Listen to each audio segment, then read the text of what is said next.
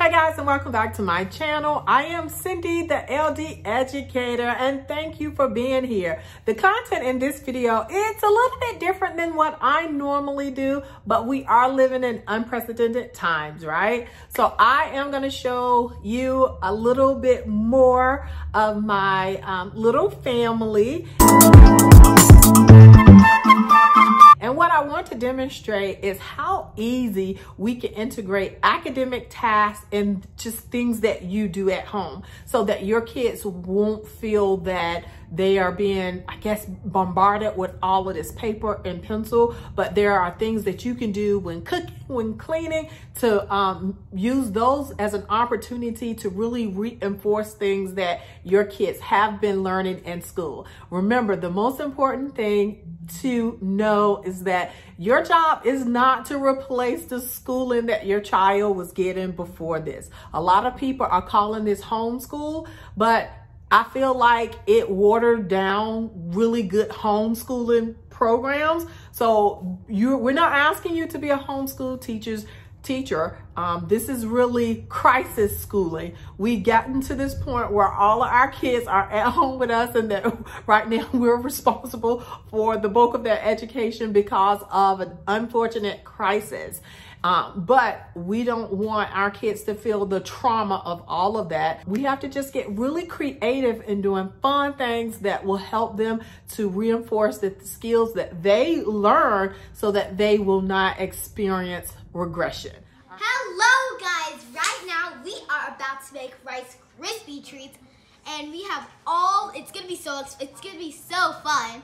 We are we're actually gonna make it more educational because like you know how like school's been out and stuff and there's not been you're not been you're not really doing that much educational things. So we thought while we make it we could have fun but also practice counting for that little one and measurements for me. It's super easy to make rice krispie treats. All you need is rice krispies you're going to need some measuring tools.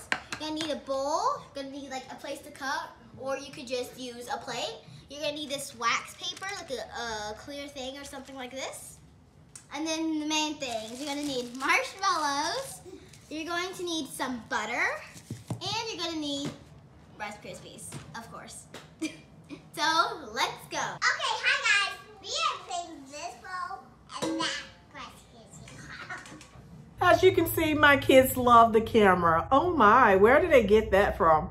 I don't know. Because believe it or not, I am intimidated by this thing. I just happen to like making videos and giving lots of information to help families. Anyway, Miss Aubrey is nine years old and Miss Lucy is three. Kara's gonna help us with measuring our Rice Krispie treats. So we're gonna do eight and a half cups of Rice Krispie treats into this bowl, right? Eight and a half. And cups. while we're doing that, what we're gonna do is Aubrey's gonna help Daddy with like, the super sharp part. Yeah, and I we need one and a half sticks of butter, so Aubrey's gonna help me cut the butter. Oh, simple. But it's frozen, so I might need to help you. You have to cut it at that four slip right there. How did you know that, Aubrey? Because technically, you can technically fractions. Well, you got to show them. They can't so see. technically, kind of like fractions made me think of. So all of it is kind of it's all a, and then technically like what's half of eight. So technically, it's like saying five plus five is ten. Like eight plus eight is sixteen. So like four plus four is eight. So we're gonna cut it right at the half mark. Okay. But if it was ten, it would be five. So let's see. I might have That's to cut the it sharp knife. Yeah, I'm gonna have to cut it for you because it's hard. Kids, when you make your Rice Krispie treats, for the hard parts, make sure you get your parents. we aren't getting sued here. Uh. There we go. One and a half. So I put it on low? So this one, we'll put it about middle, put it about the middle of the way. Okay, stop. No, that's low. We'll put it on and put them in here. Uh, everybody's already washed their hands, so we're good there. I want you to put those, put them inside, and then all you have to do is just wait. You just monitor them and let me know once they start to melt, okay? You, that's all right. Just sit it in there. Just take the other Can one. Can I cut just, this one? No, just open it and just lay it flat. We don't need to cut it, so just lay it flat though. Lay it flat in there, okay? That's what you want to do. Lay it flat. Lucy, go back. Come back over here. We're gonna get over here. Back. I need you to help. So we're gonna do eight and a half. Okay. All right, Lou. You ready to count for Daddy? Yeah. One. All right. I want you. We're gonna do eight. So let's do. Let's count. Go. Eight. No. Go. Scoop it in. Let me show, let me show you how to do it. Yes. Say one. Two. Okay, what number You're is this? struggling. Let's say two. No, Two turn each. it over. All right. Turn it. Turn three, Say three. Three. four, five, Six. Six. Seven. seven. Seven. Come on, Marie. Last one is. Eight. Can you count to eight for me? Count. Start at one. One, two, three, four, five, six, seven, eight. Good Nine, job. ten. Good job. So now we have a little bit of time to wait while the butter is melting and we'll be ready to get to the next step. And so now it's time for an edition of Dishing with Daddy and Daughters. Yeah. Trademark pending.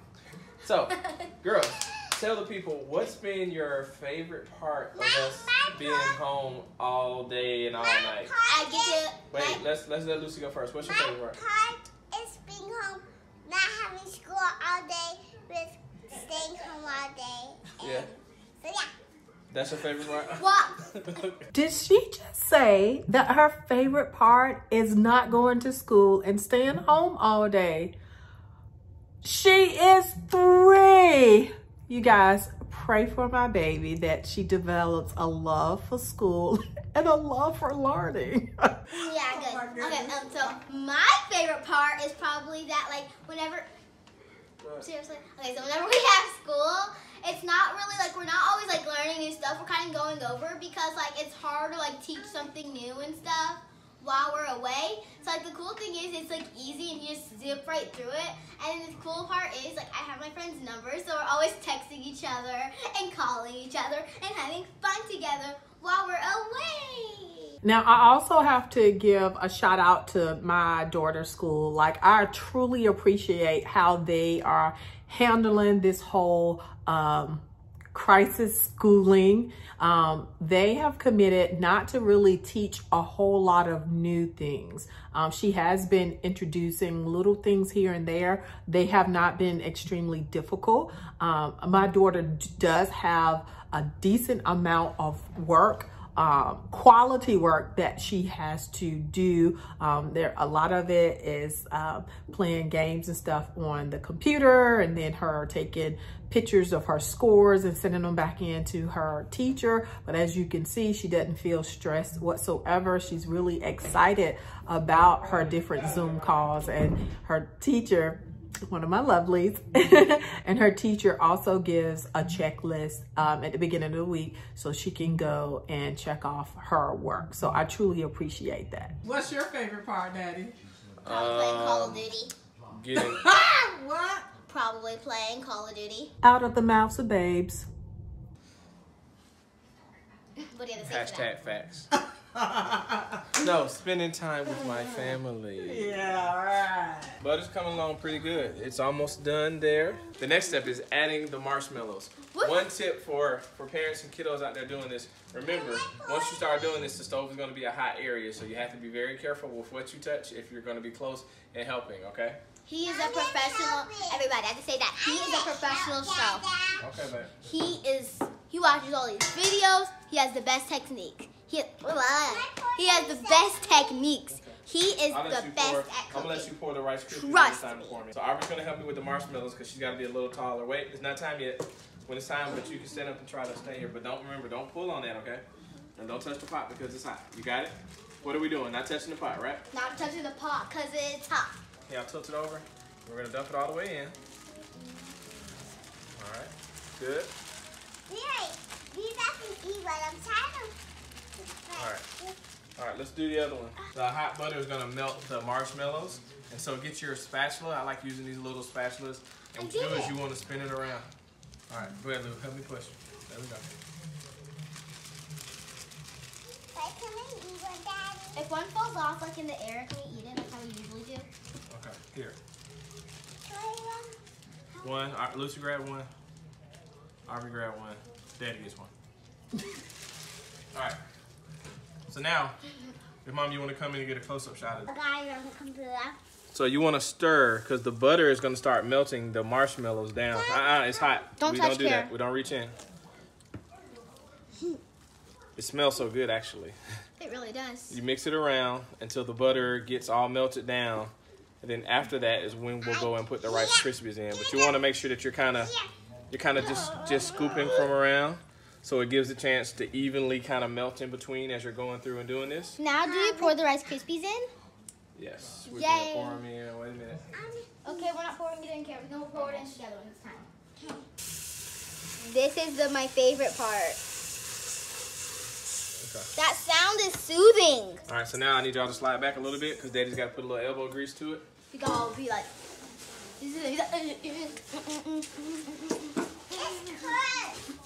So once you get to this part, you really need to scoop it because what you want to do is you want to get a good mix between your marshmallows and your Rice Krispie. Let's back up. Aubrey, take that plate and sit it on the table right here. Take the whole thing as it is. Oh, like this? Now you can grease this pan if you would like. Uh, you can put butter in there to keep it. I do these. I do the paper because it just. I found one trick online was talking about how easy it was to be able to get it up and everything Yeah, just stick. there. Aubrey, pick the whole thing up. Okay, Kara. Kara, we're coming over here. Come stand right here. We're gonna do it right here. We're gonna do it right here together. So the other thing you have to be careful of is because your pan is too hot, it'll stick. So you wanna get it around, and then what we're gonna do is, okay, back up for a second. Why it melts? It is. Let me see. You help. I You're, do. you're, you're the critic. You tried. I'm trying to fix the wrap paper. It's just hot. I don't want y'all to touch that pan because the pan is still hot. Okay. So now what we do is we're gonna use this to kind of shape I it do it? down. Hold on. Can I do it? I remember when I did it for the bird. I want to do it. I want to do it. I can do it. can do it. We can do it. Oh. We can do it. Here, Aubrey, grab the handles and put it in the sink for me. Grab both handles. Just sit it on the side right there. This one? Uh, yeah, move that red plate because it's hot. Move the red plate underneath it. And rinse it out. All right. Good job, Lilibel. Thank you. So what we're doing is we're just gonna smooth it down. Okay, Dada. Just try to make it as even as you can. Okay, Daddy. And so you might say, well, hey, I don't have a spatula at home. I think you probably can use maybe a big spoon or something like that to scoop it. The spatula helps because it kind of helps to just kind of make it Can a I little try? even. Yes, we can try together. Can we do it? We're doing it now, right now. We're all doing it right now together. So no one gets favored. Everybody does it together. And so here's the thing I would say too. For those who want to know a little bit of a variation here. All right, that's good. Everybody stop. Everybody stop. Mm. All right, so if you want to know a little variation, here's one little trick here. So mom, can you come up a little bit higher? So one thing you can do here is if you want to do chocolate, say if you had Hershey's uh-huh. Hershey's chocolate syrup or something like that, what you can do is you could pour a layer of chocolate syrup and just even it out and it'll be on one side of these whereas the other side won't have it. So that's one one little tip that you might want to do. At this part also some people put a little once we put the rice krispies in some people like to put a little extra marshmallows in on top of that to get an extra little melt going. But for me i found when you do it the way we did it it, it gives the right balance of chewiness with the marshmallows as well as the rice krispies. So now you know what we're gonna do girls well, y'all know what we're gonna do? What? We're gonna put it in the fridge. And we gotta let it cool. Alright? We're getting marshmallows at this time though, so. So, alright. So Aubrey and Kara, can y'all can y'all carry this together to the fridge and let's put it in oh let me find a space first. I forgot. Our fridge is full because of food Quarantine. storing You up can take the quarantine. pizza. Hashtag quarantine life. Alright, now girls, y'all can take it and y'all can put it in the fridge. Come on. Right here. Sit it in the fridge. It's so ridiculous. And we close the door. And All right, we close eat. So and we then will see y'all in a moment once it cools down. Okay, guys, it might take about 30 minutes to let it cool down in the fridge. So, to keep track of the time, we are going to set a, re- an, a, like a timer or reminder on our Alexa. Hey, Alexa, set a timer for 30 minutes. Get the minute, turn to me, turn to me. Starting now. So now I'm going to take our Krispies out. Krispies. Rice Krispie treats out. No one touch them. No one touch them. Daddy's got to cut them. Actually, what I'm going to do out of abundance of caution is I am going to actually put them on the counter and cut them, and then I'll let the girls select their Rice Krispie treats. Okay. Some bacon big. Uh, because- pro tip. Sometimes they can be a little thick trying to cut through them, so you want to have yourself some space because you don't want to either elbow somebody, elbow somebody, or chop off uh, an arm or something like.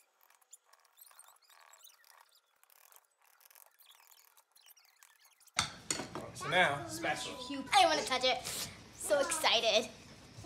Also, don't touch your face. I should not. I should stop touching my face. Jeremy's. It could have been baked a little bit more. It's already cooked enough. Get a paper towel, please. Tear it in half for me. Oh, this? Yeah.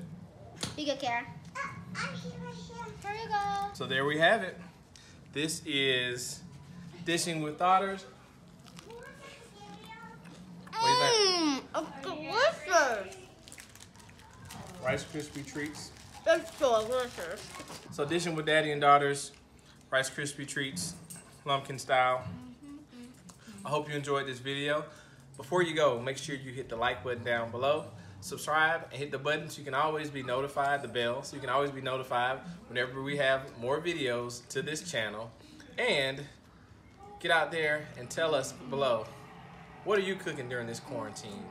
So guys, as you can see, there were so many opportunities for learning just in making Rice Krispies. My daughters learned the importance of sanitizing your hand or washing them. Um, Miss Lucy had the opportunity to count, although I think we kind of confused her because she is, she solidly counts to 10 on her own.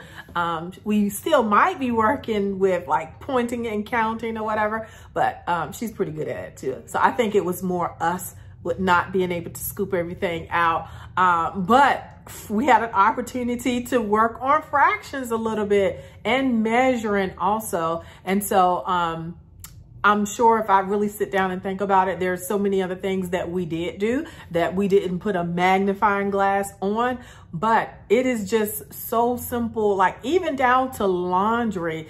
Lucy helps me to sort the colors. She knows that we have whites over here, light colors over here, dark colors over here. Um, so there's so many ways that you can continue to make sure that they are learning and it may not look like the paper and pencil, but it's just as effective and is probably a lot of what you need and what they need in this time so that you will not have a, a, lot of anxiety and they won't either. All right, guys, that is all. If you did not check out the video that I did. I forget what I called it, but I'm going to link it here. Um, I was asked by an organization to answer two questions and I kind of gave what my feedback was. And I think it could be helpful for you if you still find yourself in a situation where you are really unsure that you're feeling anxious or this whole doing school from home is a little bit overwhelming for you. All right, you guys be good. I hope things get back to or goes to a new normal really quickly. All right, be good.